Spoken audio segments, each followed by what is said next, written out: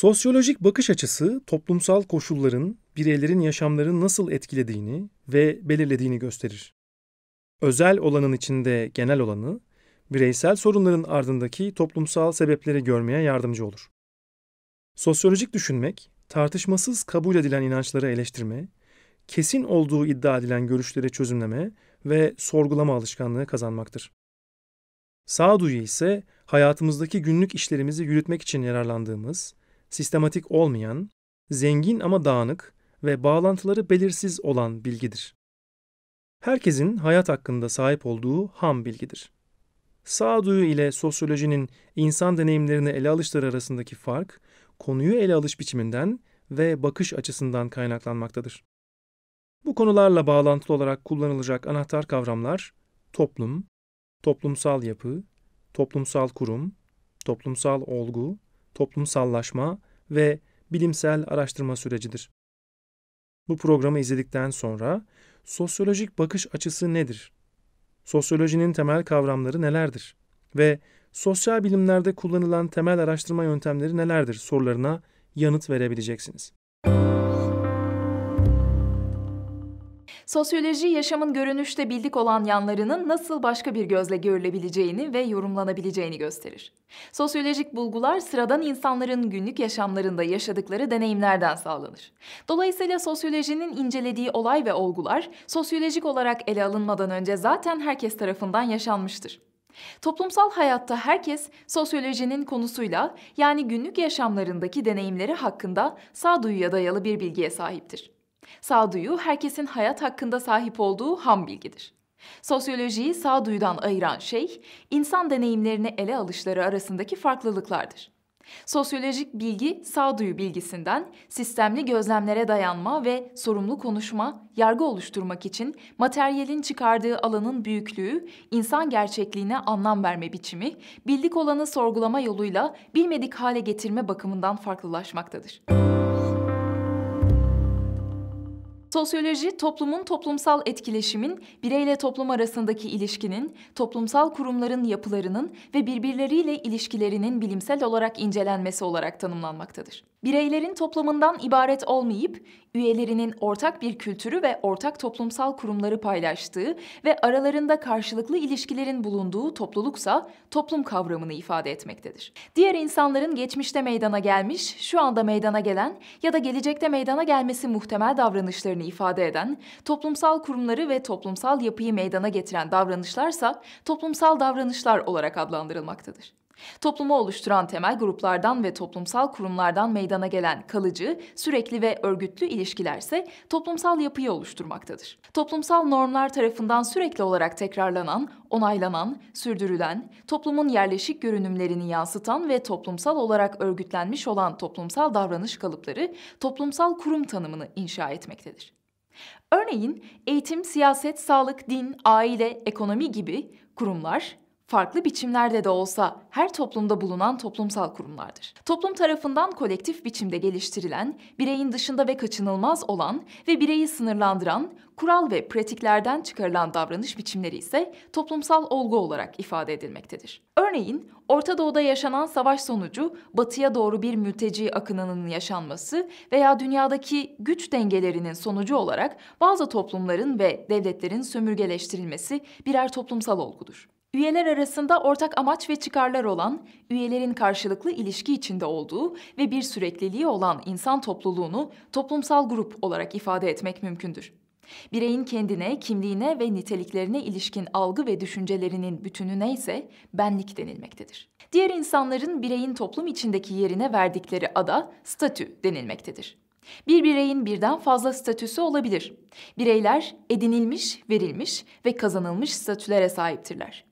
Örneğin kadın olmak, bir dine, mezhebe veya ırka mensup olarak doğmak sonucunda elde edilen statüler edinilmiş statüdür. Müzisyen olmak, ebeveyn olmak gibi bireyin kendi istek ve çabasıyla edindiği statülerse kazanılmış statülerdir. Belirli statülere atfedilen davranışlara ilişkin toplumsal beklentilere toplumsal rol denilmektedir. Toplumda hangi davranışların uygun sayılacağına ilişkin düşüncelerden oluşan inanç, ideal ve standartlarsa değer olgusunu tanımlamaktadır. Ödül ve cezalarla güvence altına alınan, yaptırımı olan kurallar sistemine norm denilmektedir. Toplum üyelerinin normlara uymasını sağlamak için kullanılan kurallara aykırı davranılması halinde öngörülen sonuçlarsa yaptırım olarak adlandırılmaktadır. Bireylerin üyesi oldukları topluma ait değerleri, tutumları, bilgi ve becerileri, kısacası o toplumun kültürünü öğrendikleri etkileşim süreci toplumsallaşmayı yani sosyalleşmeyi tanımlamaktadır. Sosyal bilimlerdeki temel yöntemsel yaklaşımlar pozitivist yaklaşım, yorumlayıcı yaklaşım, eleştirel yaklaşım, feminist yaklaşım ve postmodern yaklaşımdır. Yöntem, araştırmanın amaçlarına ulaşmak için izlenen yön veya yoldur. Araştırma tekniği ise araştırmanın amaçlarına ulaşmak için kullanılan anket, görüşme, gözlem gibi araçlardır.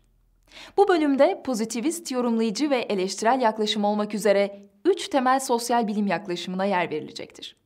Pozitivist yaklaşımın en önemli temsilcileri Auguste Comte ve Emil Durkheim.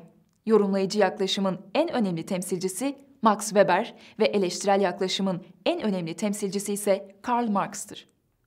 Bu yaklaşımların her biri ampirik, teorik ve sistematik olmakla birlikte toplumsal gerçekçilik anlayışları, araştırma amaçları ve insan doğasına ilişkin yaklaşımları açısından farklılaşmaktadırlar. Pozitivist yaklaşımda toplumsal gerçeklik, fiziksel gerçeklikler gibi bireylerin öznellikleri dışında var olan ve keşfedilmeyi bekleyen düzenlilikler olarak görülür. Araştırma amacı insanların tahminde bulunmaları ve olayları kontrol altına alabilmeleri için doğal ve toplumsal yasaları keşfetmektir. Pozitivist yaklaşımca insanlar özgür iradeleriyle değil, rasyonel olarak hareket ederler ve davranışları dış güçler tarafından şekillendirilir. Bilim, değerlerden bağımsızdır. Bilim, insanları değer, düşünce ve inançlardan bağımsız ve nesnel olmalıdır. Yorumlayıcı yaklaşım toplumsal gerçekliği ancak insanlar tarafından deneyimlenip anlamlandırıldığında var olan, büyük ölçüde insanların algıladığı gibi olan gerçeklikler olarak tanımlanmaktadır. Araştırma amacı toplumsal eylemi anlamak ve tanımlamak, insanların doğal yaşam ortamlarında olguları nasıl anlamlandırdıklarını ortaya koymaktır. Yorumlayıcı yaklaşımcı insanlar anlamı yaratan ve kendi dünyalarını sürekli olarak anlamlandıran toplumsal varlıklardır. Değerler toplumsal yaşamın bütünleşik bir parçasıdırlar. Bilim insanlarının değerlerden soyutlanmaları ise mümkün değildir. Eleştirel yaklaşımca toplumsal gerçeklik, olayların altında yatan yapılar tarafından yaratılan ve yönetilen çatışmalardır ve gizlidir, bireyler tarafından ilk bakışta açıkça görülmez. Araştırma amacı toplumsal ilişkileri eleştirmek, dönüştürmek ve dünyayı değiştirmektir. İnsanlar illüzyon ve sömürü tarafından tuzağa düşürülmüş, gerçekleşmemiş de olsa potansiyele sahip olan yaratıcı varlıklardır. Bilim insanlarının değerleri olmalıdır. Bazı değer pozisyonları doğru, bazıları yanlıştır.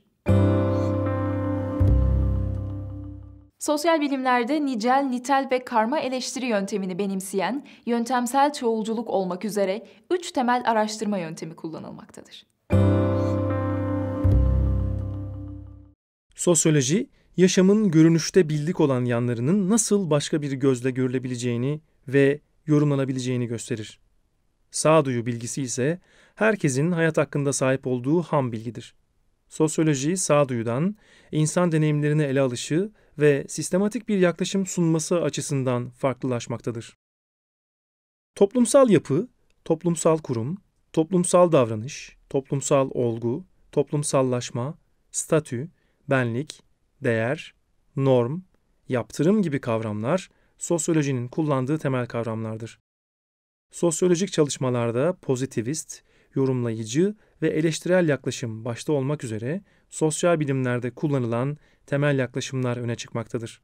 Sosyal bilimlerde kullanılan temel araştırma yöntemleri ise nicel araştırma yöntemi, nitel araştırma yöntemi ve her iki yöntemin birlikte kullanımını benimseyen yöntemsel çoğulculuktur. Bu programda sosyolojik bakış açısı nedir? Sosyolojinin temel kavramları nelerdir? Ve sosyal bilimlerde kullanılan temel araştırma yöntemleri nelerdir sorularına yanıt verilmiştir. Konuyla ilgili daha ayrıntılı bilgi Sosyolojiye Giriş ders kitabının birinci ünitesinde yer almaktadır.